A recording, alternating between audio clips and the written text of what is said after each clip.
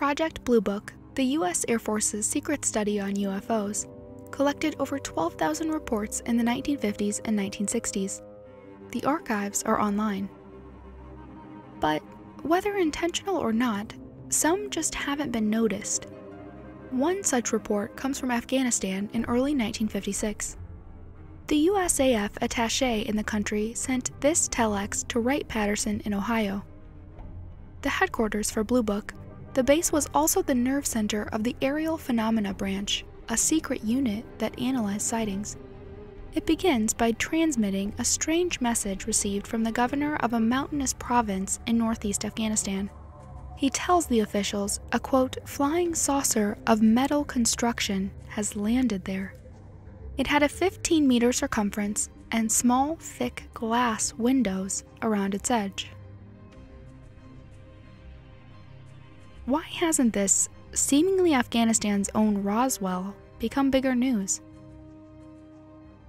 We cover unique declassified files. Subscribe to join us. That same week, another telex was sent to Wright Pat.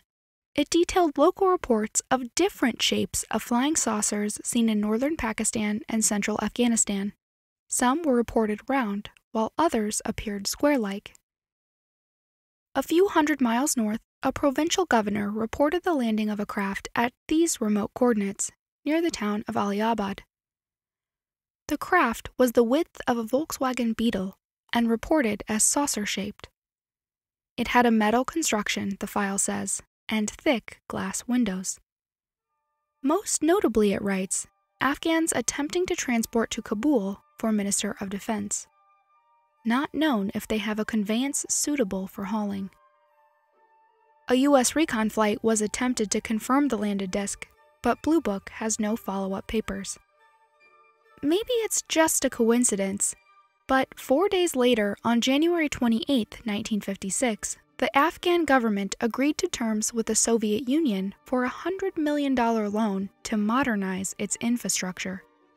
Within months, the USSR began giving military aid to the country. What could have happened to the craft? And what might its origins have been?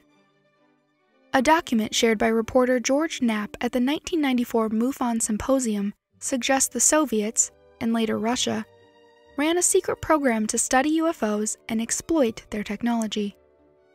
Codenamed Thread 3, it had a goal of discovering non traditional propelling agents and accompanying fields behind UFO like craft.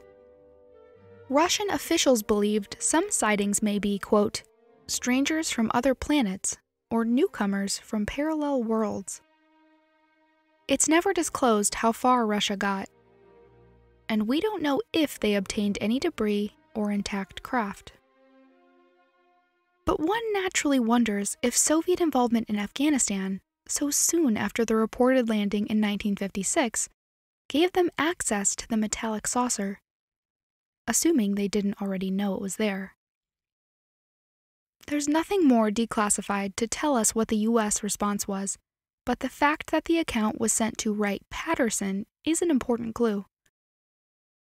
The base was also a recipient of this message from 1961 detailing UFOs over the neighboring country of Pakistan. Near Karachi, a source states three cigar shaped objects were seen, pink in color, traveling in close formation. Their origin was never determined, but the sighting was categorized within Project Moondust. Moondust is a confirmed covert op carried out by the U.S. Air Force during the Cold War with the intent of recovering crashed Soviet hardware, though it remains an open question if debris of other origin was swept up too. One interesting example comes from a 1968 file showing a circular metal disc was found in a crater in Nepal. Moondust was involved in retrieval efforts, and the object was removed from the country by a redacted individual. After some time, the head of the Nepalese army urgently asked for it back, ASAP, though we aren't told what happened after.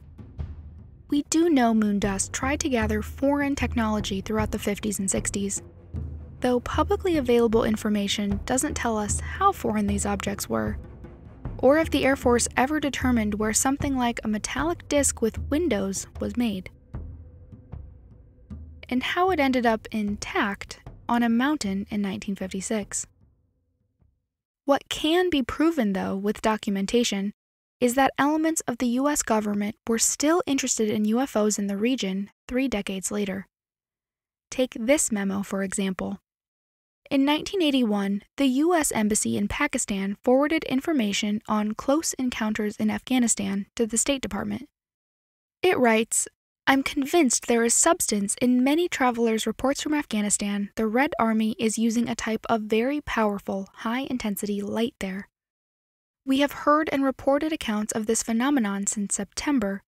They described strange lights illuminating large portions, typically more than a quarter, of the Afghan sky.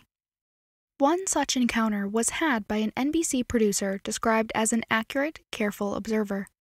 On a night in early 1981, he and his crew were in southeastern Afghanistan when they saw the light. The moment they became aware of it, it grew to full intensity. They never heard any rotor noise or motor. For the next 20 minutes, the light remained. The producer reported being unnerved by the intensity and magnitude, and said it lasted far too long to be flares, and did not drift like they do. Months earlier, a military photographer saw something similar. He noted a silent, cold, white light shaped like a half sphere. Fifteen minutes went by when suddenly the shape expanded dramatically while the intensity of the light within it diminished gradually to nothing. To this day, similar sightings continue to trickle in, though not through official declassification procedures. Anonymous message boards are filled with accounts of soldiers deployed near the Afghanistan Pakistan border reporting impossibly bright, silent lights that illuminate large patches of sky. We are looking into this and may have something new to share next week. Like Roswell, New Mexico, this area of Afghanistan is steeped in its own UFO lore. Unlike Roswell, though, we may even have more documentation here. But for some reason, no one has really noticed it yet. Why do you think that is? Perhaps modern ufology is too US centric. Or is there obfuscation happening here? And how far do you think Russia got on reverse engineering projects like Thread 3? Let us know your thoughts in the comments. Please share this with any friends and family you think might want to join us. Patreon supporters, Thank you so much, including Chuck in Florida. If you like what we do, consider joining them on Patreon and help us produce one new episode every week. Thank you again. See you next time.